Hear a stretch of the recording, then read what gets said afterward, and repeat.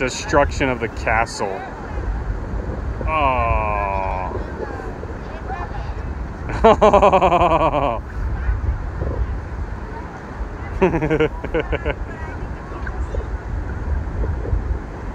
That's pretty solid castle, isn't it?